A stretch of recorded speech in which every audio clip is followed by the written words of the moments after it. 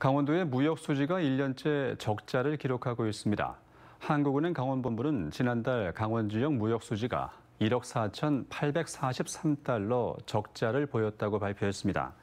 마지막으로 기록한 흑자는 지난해 6월로 이전까지는 무역 수지가 보합세를 보이는 양상이었습니다. 강원 지역의 주요 수출 품목인 의료용 전자기기와 전선 등의 수출액이 늘었지만 천연가스와 유연탄 등 에너지 가격 오름세가 계속돼 적자가 이어진 것으로 풀이됩니다.